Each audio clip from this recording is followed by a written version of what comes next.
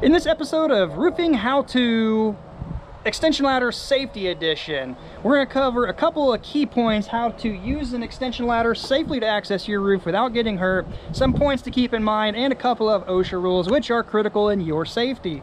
So let me get the uh, GoPro on my head here in a minute so I can maintain the OSHA rules and not break them because I'm on camera and I have people that might hate it.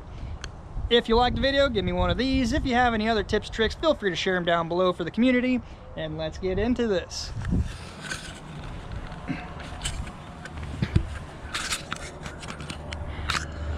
Now that I got my hands free, because that is going to be a very important OSHA rule here in a minute, you want to make sure that your angle of the ladder is sufficient to not want to kick back on you while you're on it. You also don't make it uh, too steep so the base will kick out. You want to make sure your two feet are both in contact so the ladder is vertical. You don't want it crooked one way or another because as you go up, your top heavy off center of gravity will fall off. So make sure they're both secure. You can sometimes have ladders that have extensions on them or extend a, a piece of wood or something. Sometimes you can actually take your foot here and make a, a cleat and rock it back and stick it into the mud. You don't want it slipping one way or another and you don't want your ladder going like that. Now, one of the most important OSHA rules, anytime you're on the ladder, you need to maintain three points of contact. So what's that mean in layman's terms? You can't carry anything up. No tools or equipment get carried up. They have to be tethered, roped up, bucket up, or machined up. So as you're going up the ladder, you have two feet in one hand. This hand goes up to make contact. You can now break that foot down there while maintaining three points of contact to climb up the ladder. That is a big one with OSHA. Another one with OSHA, from wherever your rooftop access point is, in this case the gutter here, you need three feet of extension ladder above that point. So if this hit here, for example, I need to extend this part of the ladder so I have three feet above that. A third big point OSHA, I believe, requires that I do because I've had it blow over. You want to make sure it is roped to or tethered to. And yeah, I'm breaking the OSHA rule right now. I got my hands off. So this does two very important things for me. One, it's always on the ladder. I never forget it.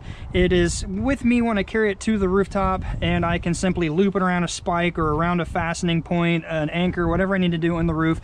Go around the ladder and connect it to it. Very convenient. It's not going to blow away while I'm not on it. I already told you about the three feet above. The second point of this is when I am done with the job and I carry it to the truck, I have a small piece of rope on the truck rack. Uh, pretty secure with a tail end with a loop. So all I got to do when I get to the truck is put it in the truck and then I simply connect this end to the loop on the truck and I can guarantee it's not going to slide out and blow away. Because that, my friends, is pretty bad too. Uh, that's all this video is about. It's nothing more about what I'm doing here. I might shoot more for that, but this is just a brief overview of rooftop safety. Yes, I have three points of contact. I'm free to move my hand, but can't climb, because if I have something in my hand and move my foot, I broke an OSHA rule. So be safe. So be safe, use the ladder safely. It's a very dangerous tool. It's probably one of the most dangerous tools in the industry, in the construction trade area, so be safe. Look up rooftop safety, rooftop safety. Just broken OSHA rule. It happens a lot. Anyway, if you like the video, does that count? Does that count as a point of anchor? Give me a thumbs up if you like it. Click the subscription button down below. And as always, until next time, be safe and see you then.